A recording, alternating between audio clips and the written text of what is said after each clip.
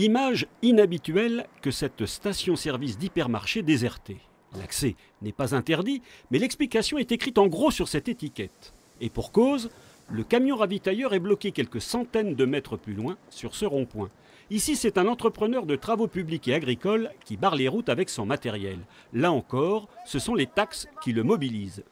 Le gouvernement nous impose des taxes énormes on peut plus vivre comme ça, on peut plus, on peut plus, on peut plus entreprendre, on peut plus, on peut plus rien faire. Une fois qu'on a payé le matériel, les assurances, le gasoil, on dépense plus de 15 000 euros de gasoil pour l'instant. Si ça continue comme ça, euh, je pourrais plus, je pourrais plus payer mes salariés, mon matériel et tout ça. On pourrait, on pourra plus travailler. Beaucoup plus tôt ce matin, à Flic Secours, un blocage total de l'accès à l'autoroute A16 s'est mis en place dès 6 heures. Ici, le prix des carburants n'est qu'un élément d'une inquiétude plus générale. J'ai deux enfants.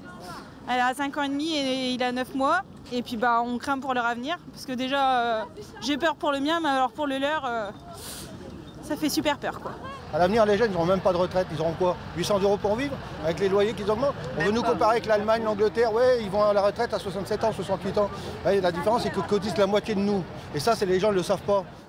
Sur les barrages, certains chauffeurs routiers bloqués soutiennent le mouvement. Je suis solidaire, mais bon, euh, je continue, je viens travailler. Euh, je ne vais pas forcer le barrage, rien. Je fais la grève avec eux, euh, mais s'il faut que j'aille travailler, je travaille. Mais je suis avec eux. Qu'en sera-t-il demain sur le terrain? Beaucoup de personnes se disent prêtes à poursuivre l'action. Le 24 novembre, une manifestation nationale aura lieu à Paris.